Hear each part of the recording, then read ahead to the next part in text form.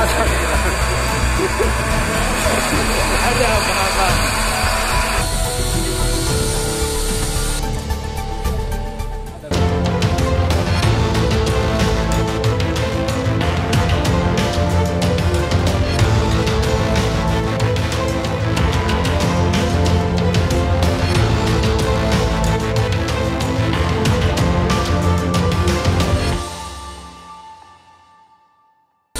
Guna mencegah peredaran gelap narkotika, BNNP Provinsi Nusa Tenggara Barat berhasil musnahkan barang bukti kasus narkotika di jasa ekspedisi wilayah Kota Mataram.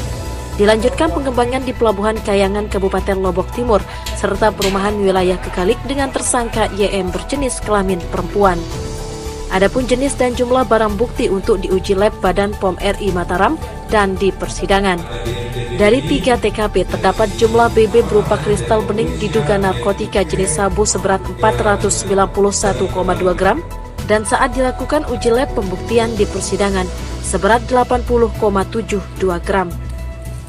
Selanjutnya jenis BB yang dimusnahkan saat disisihkan uji lab berupa satu paket berisi kristal bening diduga narkotika jenis sabu seberat 410,48 gram. Sementara itu dari seluruh jumlah BB jika diuangkan terdapat sekitar 1 miliar rupiah dengan asumsi harga per gram senilai 1,8 juta rupiah sampai 2 juta rupiah.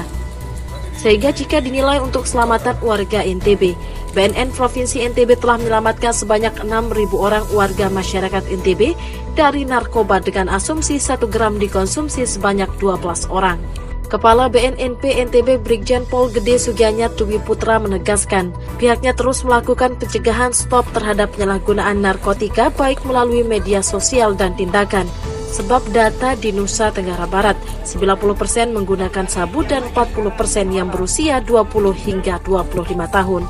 Adapun barang bukti secara keseluruhan jumlahnya adalah 491,2 gram, jadi hampir setengah kilogram, dan kemudian disisihkan untuk uji lab dan pembuktian di persidangan sebanyak 80,72 gram, sehingga yang dimusnahkan pada saat ini sekarang ini adalah sebanyak 410,48 gram. Nah, apabila barang bukti ini e, kita